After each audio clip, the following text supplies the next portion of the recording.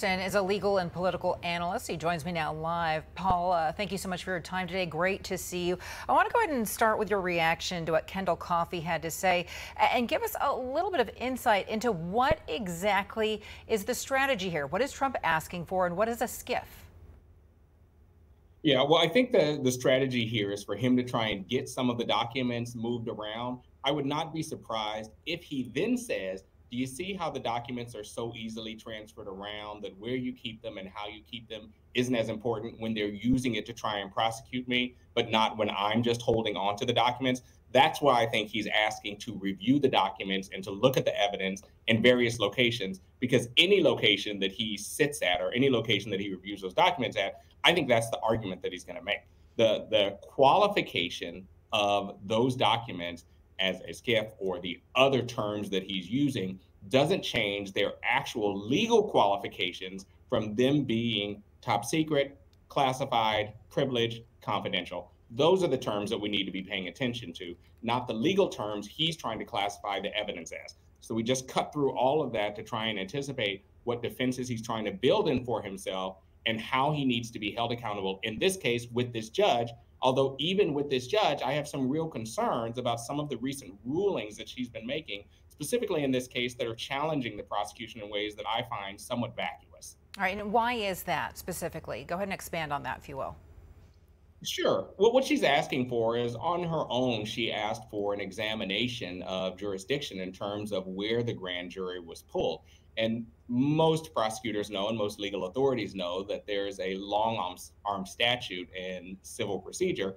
Prosecutors are given wide discretion in terms of how they put their cases together. Specifically, in fact, in areas like this where we didn't even have to have a grand jury, the prosecutors themselves could have brought the charges on their own.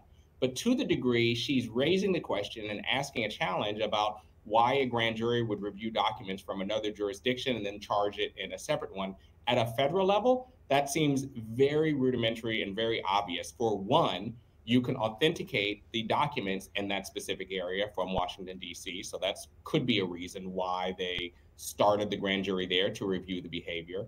Also in D.C., that's where the documents came from. Also in D.C., where is where the harm can be measured. So it could be any and all of these things to answer her own question. I'm concerned that she's raising the issue in and of itself as a distraction to the actual charges and to the behavior from the defendant, and instead challenging the prosecution in this way.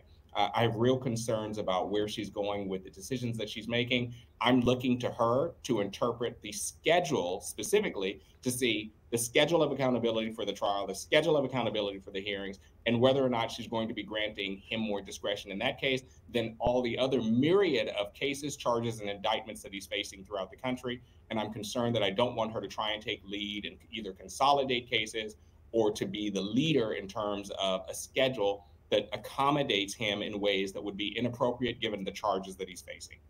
All right, so let's go ahead and stick to this idea of the schedule because we're hearing that special counsel Jack Smith has been asking that the trial date be set for January of 2024. Paul, let's talk about the timing of all of this and how it could all play out. Absolutely. So the timing is really important here because what Trump is arguing, and he is slow walking everything. So in the myriad of charges, he is filing motion after motion, issue after issue, trying to buy out more time to put all of these things off, all the while arguing and asking that the trials and hearings be put out as far as possible because he doesn't want them to interfere with his route as a candidate. Here's the issue, though. I'm concerned and I'm watching what's happening with all of the prosecutors pushing back on those schedules. But what I'm most paying attention to is what's likely to happen in Georgia. And here's why that schedule, those potential indictments, which by the way will be the fourth indictment, is going to be independent. And I'm excited about how they're approaching this prosecution. And remember, this is a local prosecution that they are not allowing federal privilege. And so that means that they expect for Trump to come in, to be arrested, to have a mugshot, to evaluate bail conditions from the judge, you know that i think that's going to be really interesting in seeing how that plays out because they're not going to follow nor coordinate with the federal charges that are all pending and the interesting thing is that case specifically is going to have some cross pollination with the secretary general and that election fraud charge that is likely coming this week or next week. And the interesting thing about it is because it overlaps into the charges that we're seeing in DC for the January 6th stuff. And it's not going to be double jeopardy because it's federal and state charges. They can be the same incident and there won't be double double jeopardy. And the most interesting about, thing about that case is separate from double jeopardy as an issue, there also cannot be a federal pardon. So even if he wins, the nomination. Mm. Even if he wins the presidency, he can't absolve himself from the liability from those mm. potential felony charges in Georgia. And that's what makes it all the more interesting to me. All right, legal analyst Paul Henderson, we always appreciate your time. Thank you so much for stopping by.